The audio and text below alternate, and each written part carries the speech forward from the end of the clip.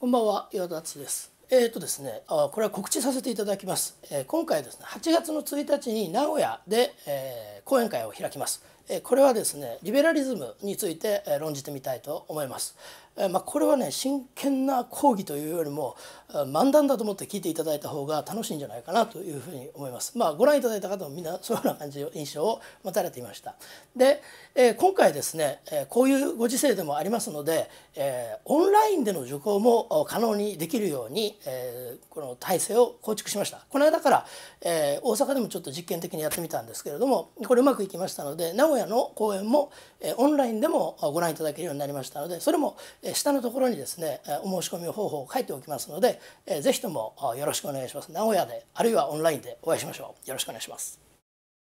今日ですねお話ししてみたいのはですね中国の問題についてなんですね。で最近中国は戦狼外交というのを展開していてで世界中にですねこういろんなところで対立問題をですね作り出しているというお話は、え以前させていただいたことがあります。でこれに対してですねアメリカがどういうふうな対応するかということで今ですねポンペオ国務長官がこれ23日なんですけれども、中国についての政策を次のように語ったとこれ朝日新聞に載ってましたあの朝日新聞に。歴代の政策当局者は中国が繁栄すれば自由で友好的な国になると予測したが関与は変化をもたらさなかったということを書いてるわけですね。でまあ私もこれ言ってるんですけど前々から言って申し上げてる通りですねあの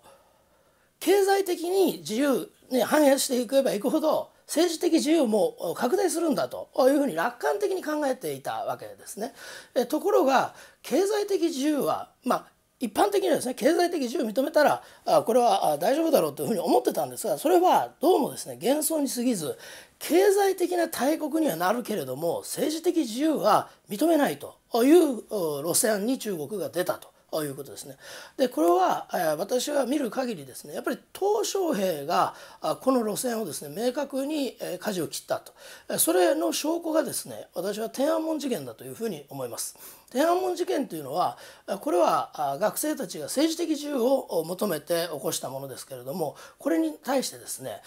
この中国はこの中国共産党はですね絶対に認めないと。で中国共産党の一党支配というものはこれは揺るがないんだということをまあ国民に示しそして世界に示したのが天安門事件で私はですね、まあ、ニクソン大統領以来ですねこのアメリカっていうのはこの関与する政策を続けてきたわけです中国に。まあこの、えーニクソン大統領の電撃訪問というのは有名ですけれどもまあこれあのキッシンジャーがいるわけですよね。でこれやってきたけれどもでもその関与は変化をもたらさなかったということで、えーそれを今回初めて初めてというかですね明らかにしてるわけですがやっぱりこれは私はちょっと日本も含めてですね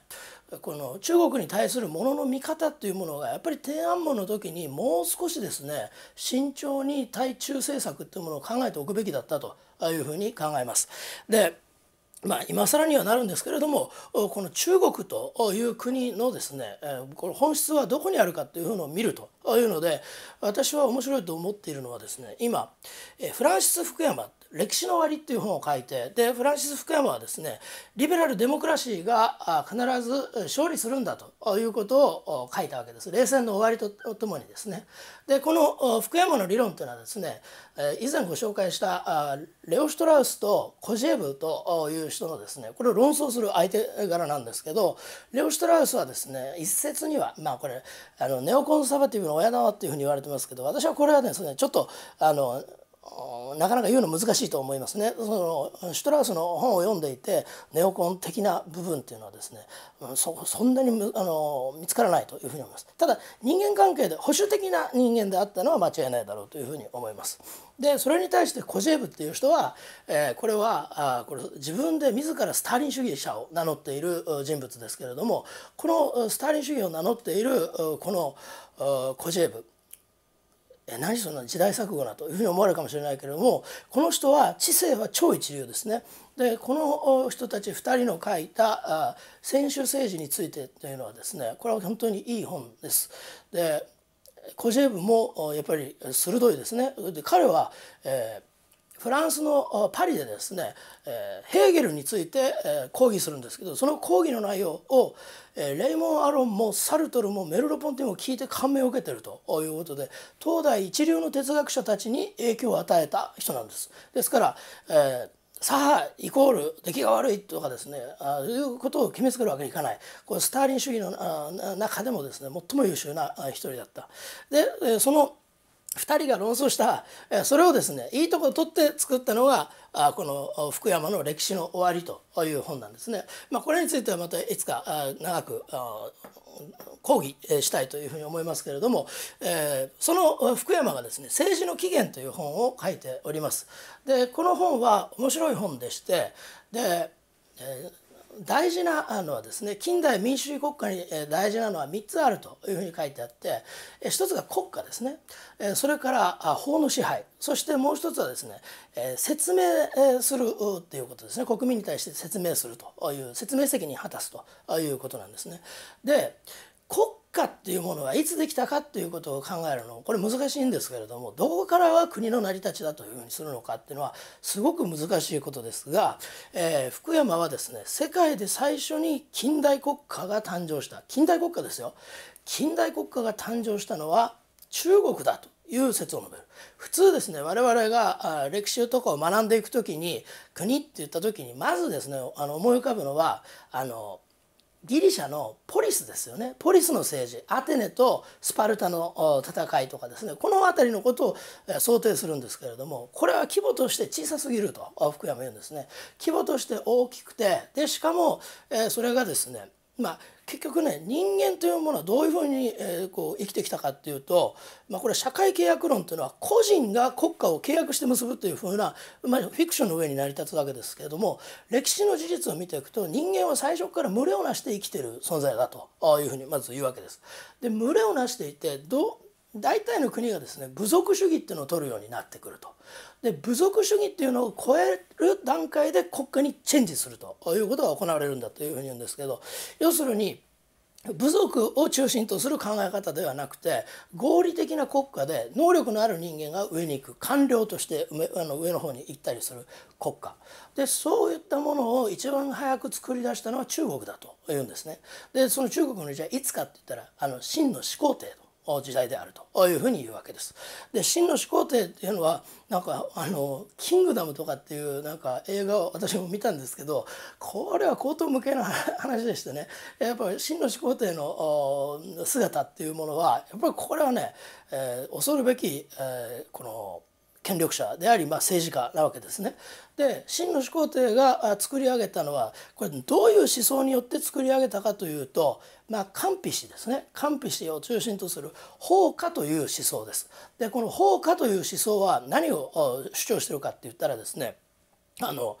この面白いのはねあの時代って諸子百科といっていろんな人たちが出てきますけれどもその中でまあ我々がパッと思いつくのは儒家ですよね。あのあとあるいは孫子とかですねそれも思い浮かぶかもしれない。法家カンピシというこの人たちのグループがですねどんな主張してたかっていうと人間をこう統治する時に何が一番大事だっていうふうなのを儒家たちは人間の徳が大事であるというふうに説くわけですね徳が大事だっていうふうに説明するわけです。でだから君主がですね人格者であって高潔であってでそれを統治する為政者がみんなそういうふうになっていくと国は良くなるよというふうな発想をする。ところが法家というのはそう考えない。人間というのは放っておけばですねこれはろくでもないことをするから法律を作ることによってでこの法律で縛り上げてその中でですね、えー、こう、うん、自分国家の政策をこうやっていかなくちゃいけないというふうに言ってるわけですね。でそれのに基づいて作ったのが、えー、秦の始皇帝です。ですから、まあ、彼は儒家たちを弾圧するわけですよね。で噴書講習なんてのはまさにこの時代に行われたことです。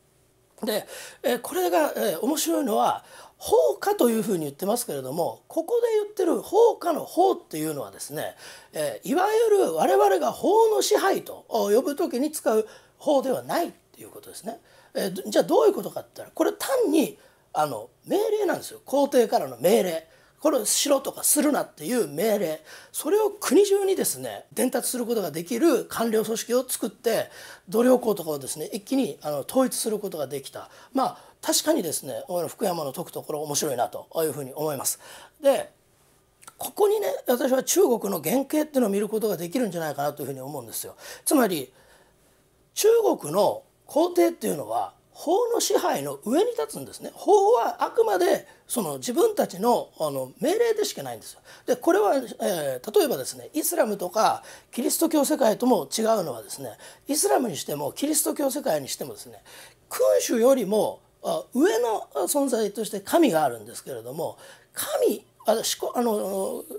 中国の中のですね宗教っていうのは、まあ、これは福山によればですね祖先崇拝の域を超えてないとだから要するにあのでしかもそれは皇帝の下に宗教を司る人間たちがいてその人たちがやるから皇帝がこうだというふうに言ったら意見で変えられちゃうと。でこれでこれが一つの理由となって法の支配っていうものが中国には欠如してる。ですから、まあ、ちょっとおかしな話に聞こえるかもしれないんですけれども中国の秦という国はです始皇帝が作った秦という国は法家によって作られた国ではあるけれども法の支配がないという状態だったつまりこれはいわばですね統制された全体主義国家だったと言ってるわけですよ。で現在の中国もこれに似てるんじゃないかなというふうに論ずることができるだろうというふうに思うんです。つまり中国共産党は法を超えてるんですよね。で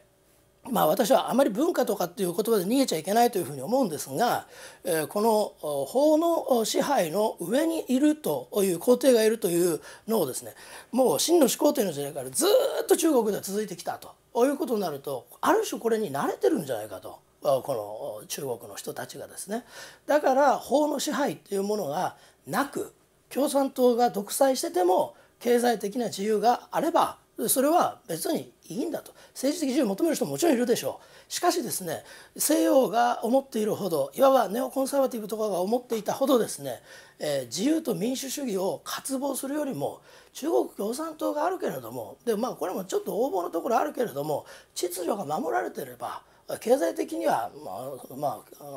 活動できるんだからこれいいじゃないかというふうに思ってる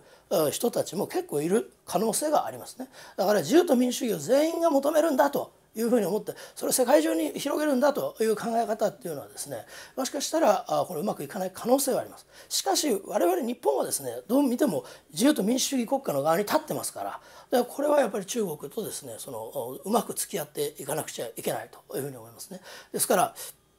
彼らにとってえこの一番重要なものっていうのは中国共産党の一党独裁だとするならばですねこれをですねなかなかねあの放置しておいて、えそれが国がですね革命が起こって、え変わると中国崩壊論って何回も、えありますけれどもなかなか崩壊しないですよね。まあ、今回今なんか水害とかねそういうのも出てますけれども中国共産党のアキレス腱は今申し上げた通りですね経済だと思うんですよ。要するに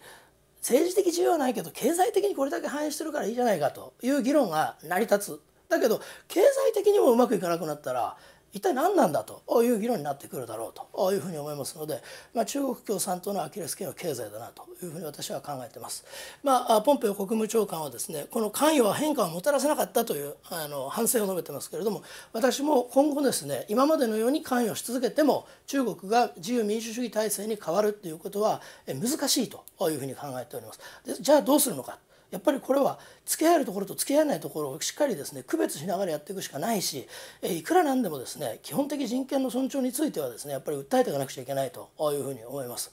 国家のためにあればですね基本的人権を無視して構わないなんていうことをですね許していてはならないだろうというふうに考えております。今後もこの番組続けてまいりたいと思いますのでチャンネル登録のほどよろしくお願い申し上げます。またですねこの番組を続けていくに際してご支援を賜れる方は下記の振込口座よりご支援のほどよろしくお願い申し上げます。